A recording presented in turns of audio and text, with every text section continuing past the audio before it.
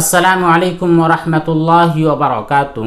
اگر آپ سے سوال کیا جائے کہ آپ اپنی زندگی کس طرح گزارنا چاہتے ہو، تو آپ کا جواب صرف اور صرف یہی ہوگا کہ میں اپنی زندگی ایسی گزارنا چاہتا ہوں کہ اس کی وجہ سے میرا بھی فائدہ ہو اور مجھ سے جو ملنے جلنے والے لوگ ہیں، ان کا بھی فائدہ ہو۔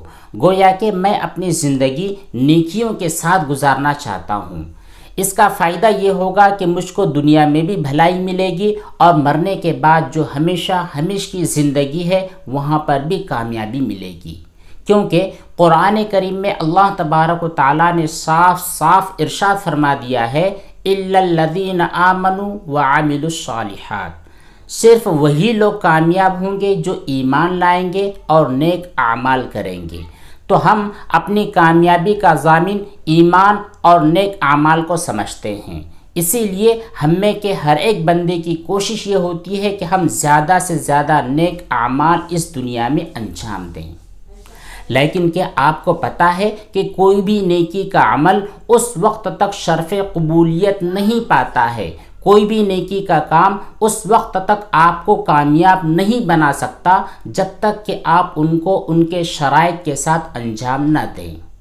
ہر نیکی کے قبول ہونے کے لیے تین شرطیں ہوتی ہیں۔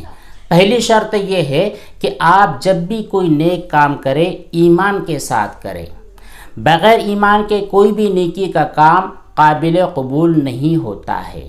اسی لیے اگر غیر مسلم نے کوئی نیکی کا کام انجام دیا راستہ بنوا دیا، بورویل کھدوا دی اور کوئی بھی فلاحی کام کر لیا جس سے انسانیت کا بھلا ہوا ہے۔ تو اس کو اس پر جو اجر و ثواب ملتا ہے، یہ صرف دنیاوی حد تک ملتا ہے۔ آخرت میں اس کا کوئی اجر نہیں ہوتا ہے۔ دنیا میں ہی اللہ تبارک و تعالیٰ اس نیک کام کرنے والے کو اس کا بدلہ دے دیتے ہیں۔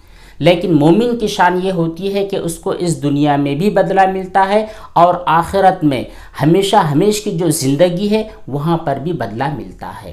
تو نیکی کے کام قبول ہونے کی جو پہلی شرط ہے وہ ہے ایمان کی شرط۔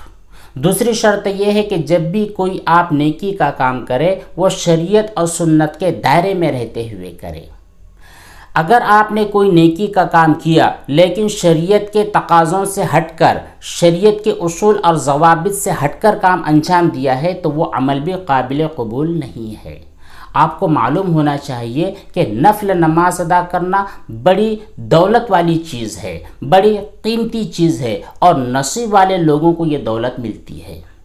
لیکن نفل نماز بھی اگر آپ نے اوقات مکروحہ میں سورج کے طلوع ہونے کے وقت، سورج جس وقت آپ کے سروں پر آ جائے اور سورج جس وقت غروب ہو رہا ہو۔ یہ جو تین مکروح اوقات ہے ان اوقات مکروحہ میں نفل نماز ادا کی تو آپ کی نماز بھی صحیح نہیں ہوئی۔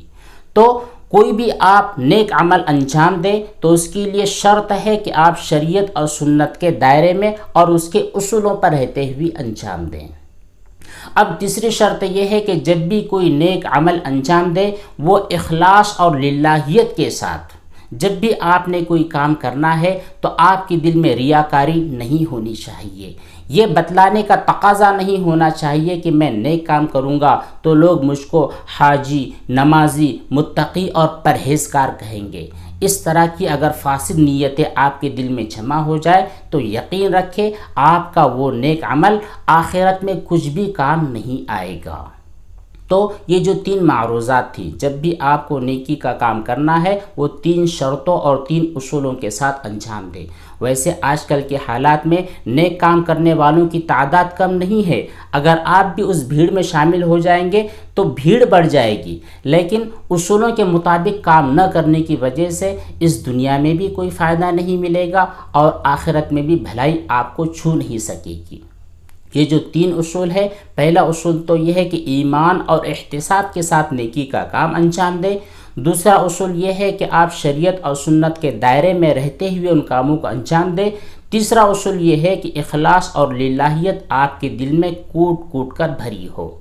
اللہ تبارک و تعالی ہمیں ان تینوں اصولوں پر عمل کرتے ہوئے اپنی زندگی کو گزارنے کی توفیق عطا فرمائیں آمين. والسلام عليكم ورحمة الله وبركاته.